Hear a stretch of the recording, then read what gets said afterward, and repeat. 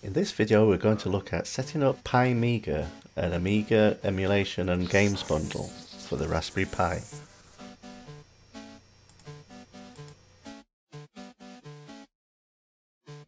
The first thing you need to do is download the image file from the link in the description. Once you've uncompressed the files into one image, then you need to write it to your SD card using the Raspberry Pi official imager or Etcher or any of the similar tools. After you've done that, you'll need to copy the ROM files. I got mine from Amiga Forever, and there's a couple of other places you can get them, both legal and not legal. You need to copy those files over to the SD card and then rename them according to the instructions.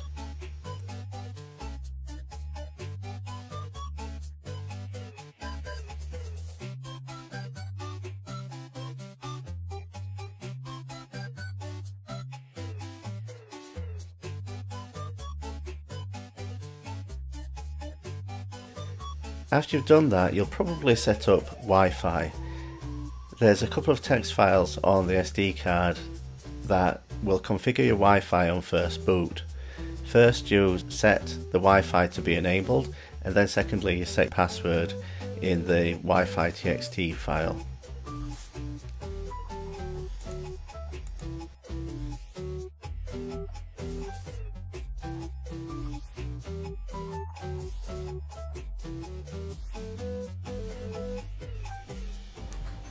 You can also set your Wi-Fi up after boot. It just means dropping down into the command line.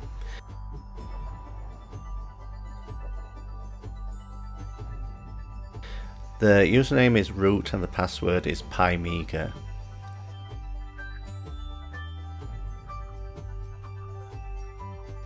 Once you get to the command line, there's a configuration tool that you can enter and you can set up your Ethernet, you can set up your Wi-Fi and some other stuff. You can also update the software and install other software right there.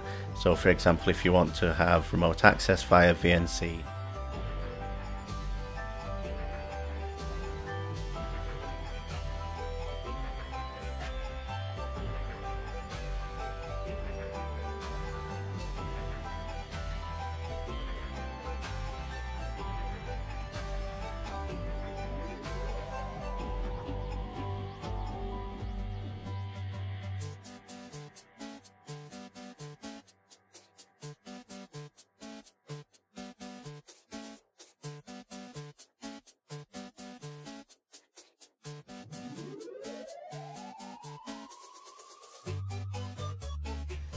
Pimiga includes a lot of software and it's not strictly legal, so best thing to do would be to run antivirus as soon as you've got it set up and installed.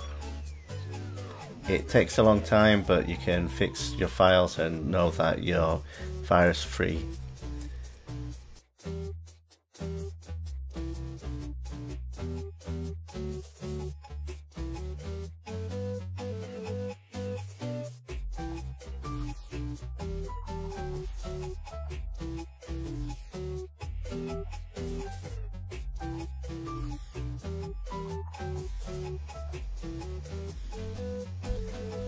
As you can see the Pi is actually a great machine for emulating the Amiga and it has excellent performance. It emulates a 6840 with lots of RAM.